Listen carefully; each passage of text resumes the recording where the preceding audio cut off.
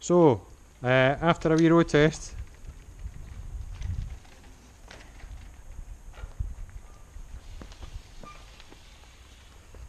after a wee road test, have we got a thumbs up, a thumbs to the side, or a thumbs down?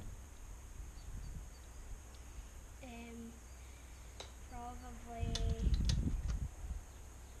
thumbs up. Thumbs up, good, okay. See you soon.